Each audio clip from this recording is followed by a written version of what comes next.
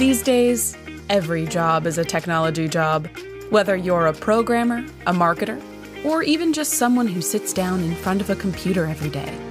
You have a stake in the tapestry of the technology industry. Welcome to Wits and Wisdom, a podcast sharing insights, innovations, and inspiration from the award winning Women in Tech Summit. Join host Gloria Bell, founder of the Women in Tech Summit, multi hyphenate entrepreneur, and advocate for equity and equality in tech as she sits down with extraordinary guests from the WITS community. Listen in as they discuss wisdom from their career journeys, pro tips from their areas of expertise, and sneak previews of the biggest upcoming tech trends. This is Wits and Wisdom, a podcast from the Women in Tech Summit and Inspiring Tech Foundation. Hello, and welcome to Wits and Wisdom, a podcast sharing insights, innovations, and inspiration from the award winning Women in Tech Summit. I'm your host, Gloria Bell, founder of WITS and the Inspiring Tech Foundation. We're recording live here at WITS Midwest. If the sound of those conference attendees out there is making you wish you were here with us, go to our website at womenintechsummit.com to see our upcoming conference. Or even better, sign up for our newsletter to stay up to date. Today, I'm here with Brenda Darden Wilkerson, President and CEO of AnitaB.org and a board member at P33 Chicago, ChITech, and the Algorithmic Justice League. Brenda, thank you for joining me today. Thanks so much for having me, Gloria. Wow, the Justice League. I'm jealous. I bet you get a lot of comic book jokes about that. But before we get into your mission as a champion of women in tech, I want to hear a little bit about your superhero origin story. I wanted to be a computer scientist and I wanted to do the arts.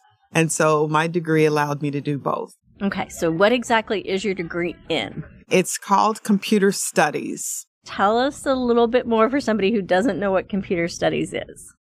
I studied all of the things that computer science uh, people did at the time. And that was things like COBOL and Fortran and Pascal. And so I had to take all of the engineering type classes, but then I also got to take Shakespeare and literature, which I grew up wanting to be an artist. Of course, my mother and father said no to that. I had to be a doctor, lawyer, or engineer. So I thought I would combine both of my passions in my degree. And I, I really think that it, it is the way to go. I would agree. We all need to be a little more well rounded sometimes. You spoke this morning at WITS Midwest, and I was privileged enough to get to hear the story about how you discovered that passion for computers. But I'd love for our listeners to hear a little bit more about it. Yeah, thank you. It's a roundabout way of discovering what you end up loving to do in your life. And I always want to share it because I hope it encourages people because I was really discouraged in the way that I found technology. I was raised to be, as I shared, I had to be a doctor, lawyer, engineer. I chose doctor. I used to do things like watch surgeries when I was a little kid. I was such a nerd. I am such a nerd, but that's okay, right? Oh, yeah. Being a nerd's great. and so going to university, I had to prepare pre med. And at my university, you just had to pick a major that included all of the prereqs, right? So I chose biomedical engineering. And growing up, I had to be a really excellent student because my parents were teachers. In fact, they were teachers at the high school I attended. I don't recommend that. It's a lot of pressure. But anyway, so I was a good student, but there was no computer science at my high school. And so when I was required to take two programming classes as a biomedical engineering major, that was my first exposure. At the same time, I'm learning about medicine and how it's practiced in the United States.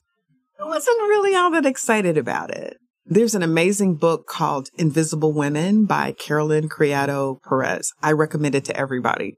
Talks about how women were just missing in the data. And one of the things that I was finding is that medicines were not tested on women at all. So when they're ministered, there's all kind of bad things that happen. And that's just a short story to say that what I saw, I became a little disenchanted. And so it was like, now what do I do? So I tried a math major for a while. I tried various things, but I thought those programming classes, I like that. Maybe I'll try that. And so that was the beginning of my journey towards becoming someone who uh, could program and, and be in tech. It was discovering what you really liked and following that passion. Yes. Yes. It was a discovery, right? But it was a discovery that came from a disappointment. And that's why I want to encourage other people that you can end up with your life's work being something totally different than what you expected. And, and it's wonderful. I think that's a really important message for a lot of people is sometimes that thing we're disappointed by actually can lead us to the thing that we're most excited by. Absolutely. And, you know, I want to say something about that thing called imposter syndrome. Well, I have to back up a little bit to tell you more about my work at CPS. So I created an, an initiative called Computer Science for All, which eventually became a graduation requirement that required all students to get computer science because it was not enough to introduce it into schools. There was always a reason to take it away. We don't have time for that. We don't have teacher for that. We don't have money for that, whatever the excuse is. So one thing that I learned then is you got to change the rules. So if we change the graduation requirement, then they had to do it. And now every student graduates with at least one computer science class. But in doing that work, it was actually discovered by the Obama administration, which allowed me to go and work with his very talented and passionate group of people to create those types of opportunities across the country. And at the time, Megan Smith was his CTO. And when this opportunity came along to be opened up for CEO and president of AnitaB.org, she was very active with the organization. And she actually threw my hat in the ring. And that's how I even learned about it. I didn't even know about the organization because I never forget when I got the email from the recruiter, I immediately started to say why I couldn't do it. Even after spending time encouraging so many other people, telling them what they could do, you can do it. You can be anything that you want. And ultimately, I took the role because I heard one of my students in my ear, make believe, saying, Mrs. Wilkerson, you told me that if I got these skills, there'd be opportunity for me. And I knew that that wasn't necessarily going to be true for her because I'd been there. So that was why I left CPS to join this organization because I wanted to make sure that all of those amazing students that we had allowed, pushed into, encouraged into the pipeline actually had opportunity once they got there. And the work that you are doing actually is making that impact.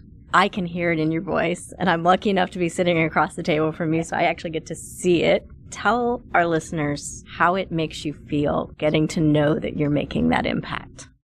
There's nothing like it.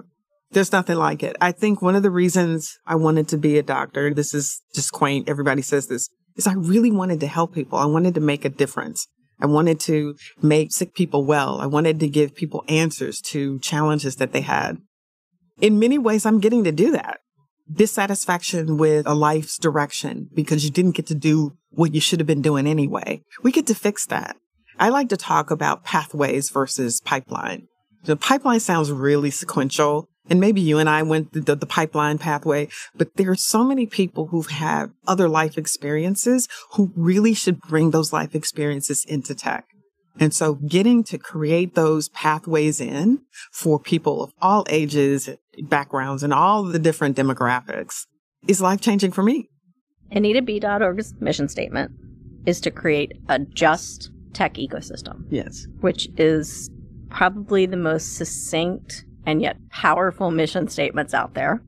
I want to know if you could say there is a single blind spot in the tech ecosystem right now what would you say it is? The ability to recognize where talent can come from. The book Brotopia, they talk about how there was a concerted effort to define the people who do computer science, the optimum person in a certain way. And it just happened to be more likely to be a man than a woman. Antisocial, doesn't talk, nerdy. I'm an introvert, but if, obviously if you get me talking, I don't mind talking. So I don't count in that particular estimation assuming that you can look at someone and decide whether or not they should be or could be part of your culture, that's a blind spot. Completely agree. I'm going to flip that. And if there is an area in the tech ecosystem that gives you the most hope, what would it be? Generally, you have two sides to a coin, right? The scariest gives me the most hope. And what gives me hope about it are the people who are working to keep it honest, and that's AI. When AI can help solve medical problems, when AI can more rapidly and with fewer errors create a particular process that serves people. That's a good thing. What gives me hope are the pioneers that are on the front line who are working around the ethics of AI and bringing attention to the blind spots that are built into AI, right? Because it's, it's based upon historical data that's rife with discrimination and racism and redlining. And even like when Apple Pay was created and Steve Wozniak and his wife applied for each their own credit card and his wife ended up with half the credit, right? And he's like, we have all things in common. How does she get less credit? It shows that that data that they were using was data that was problematic. So those people who are on the front line shouting that and talking about ways to change that and people who are talking to our legislators and helping them understand what role they can play, I'm hopeful there. I think it's a good place to be hopeful. There's so much emerging technology that can do so much good in the world. Yes. And as long as we're paying attention to where it goes, Exactly. some very good places to be hopeful. Speaking of being hopeful, I want to talk a little bit about your flagship event, the Grace Hopper celebration. You had almost 30,000 attendees last year, your first year back in person Yes. post COVID. So I'm talking about what do you see as the goal of the Grace Hopper celebration? It's what we just talked about. It's hope. People who are hopeful do great things. They do things that people say can't be done. I was hopeful that we could get computer science in front of everybody when everyone else said it was impossible. The hope sustained me through all the craziness. If we can bring women together and show them that just who they are and what they know and on their path and their background can have an impact on their lives and on others, they're going to go do it because they're going to leave hopeful. And I think that if I could say how people describe coming away from the conference, it's all around that. They come away knowing who they are and what they can do. That is a very good place to be. So we could do an entire episode talking about all the work that AnitaB.org does. So what I'm going to do instead is I'm going to throw a plug in right now and tell everybody to go to AnitaB.org, look through the website, look at all the amazing programs, sign up, and really get to know the work that you do because the work really is important and it's really impactful. So I want to talk a little bit about kind of what's next. Like I know you have a lot of things coming up, plans for the organization. You can tell us a little bit about that. I also want you to tell us what you see coming up next for you. Okay, interesting. I can talk to you all day long about the organization. And another thing that I recommend, and I, and I know you as a leader, uh, this amazing organization I got to speak at today, the conference, you share this with women all the time that we should brag, that we should talk more about what we do. And I think one of the things that you get from that is a better understanding of who you are and what you want. And so recently when someone asked me that question, I actually didn't know. I've done what my hand found. I've done what there was to do. And you know what I notice about the younger generation of women that are coming up now, they're more self-aware. I'm so proud, right? They're more self-aware. And so that they can shape their lives. They're going to serve because that's what we do, but to shape their lives in a way that they don't leave themselves out makes me proud. And they're actually my role models. So I've got some learning to do there.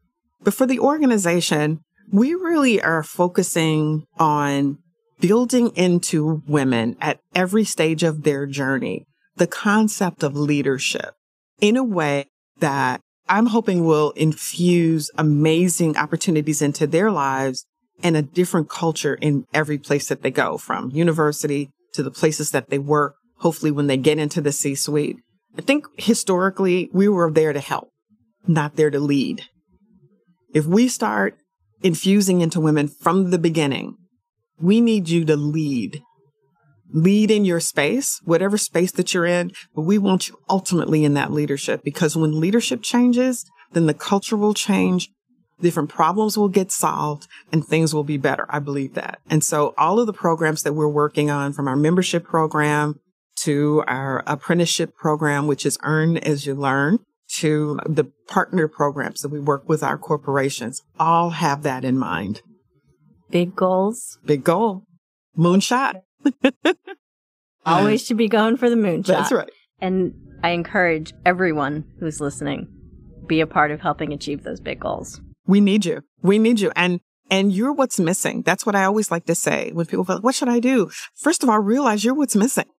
Don't go in and conform. You know, back, it's funny. I like to say back in my day when we first went into tech, you know, they wanted to make little men out of us. We had to wear the suits with the padded shoulders, the little tie. They weren't looking for us to authentically be and bring what we authentically have.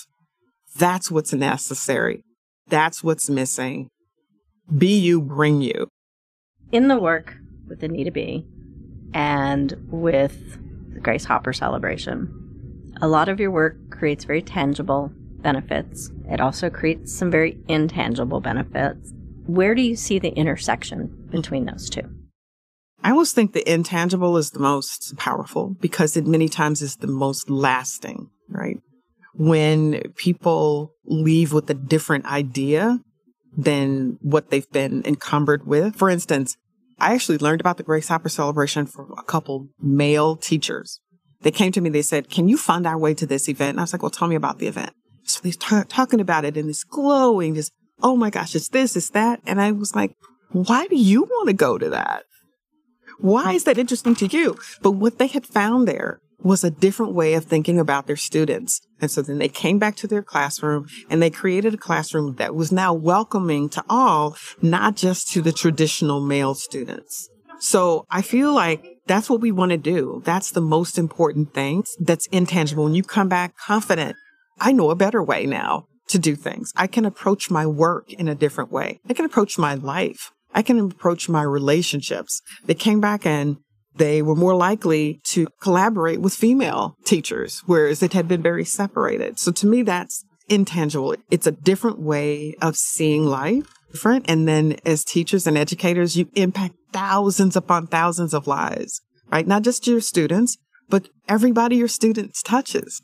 That is to me the wonder of what we do at the conference. That's amazing. And you can't create those results any other yeah. way. Yeah. Brenda, this has been such a great conversation. How can our listeners get in touch with you, learn more about your organization? Our website is anitab.org, like Anita Borg with a period in the middle after one of our co-founders. Please come to our site and you can go to GHC www.anitab.org to learn about our conference. And uh, we're really excited to, to have everybody come and, and visit us on the website. You know, give us feedback because we're here to serve. We're here to make the ecosystem better for those who are in it and to make it easier for those who aren't to get in it. And so we need that feedback. So we want to hear from everyone. Wonderful. And I know you have the Grace Hopper celebration coming up in Yes. September. Yes. So you can give everyone the details on that. Yes, it's this year. It is in Orlando, Florida, and it is September 26th through the 29th. And we'd like to see everybody there. And this year we're going to run it hybrid again. So if you can't come in person, you can sign up and get all the great experiences online as well. Awesome. That's wonderful. Thank you so much. It has been such a wonderful opportunity to chat with you and to have you here as a speaker at WITS Midwest. And I can't wait to see what we get to do working together moving forward. The pleasure is all mine. I can't wait. And thank you to all of our listeners for joining us on another episode of Wits and Wisdom. And we will see you on our next episode. Ready to learn more about the Women in Tech Summit? Visit our website at womenintechsummit.net. That's womenintechsummit.net to view our most up to date event schedules, calls for speakers, and sponsorship opportunities. If you enjoyed this episode, bookmark the show, give us a follow, or leave a review on Apple Podcasts. It helps us educate, inspire, and connect with even more movers and shakers within and beyond the technology industry. Thanks for listening, and see you here again soon on Wits and Wisdom, a podcast from the Women in Tech Summit and the Inspiring Tech Foundation.